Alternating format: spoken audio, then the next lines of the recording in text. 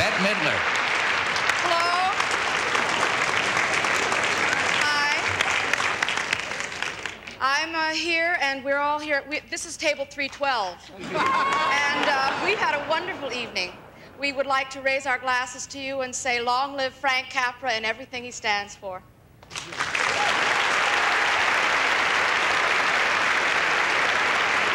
Richard Benjamin.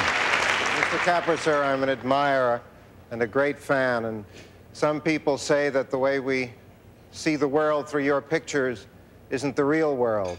Well, let me say, it is the world the way it should be. Thank you, sir. Art Buchwald.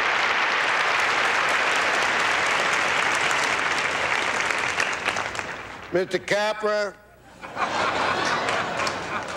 I am not here to speak tonight for the motion picture industry.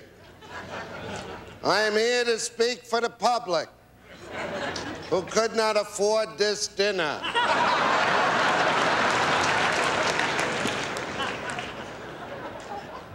Mr. Capra, when I was a kid, I went to the movies and I saw all your movies.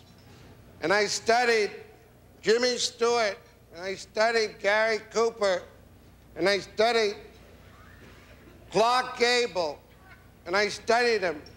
And if it wasn't for your pictures, I don't think I'd be the sex symbol I am today.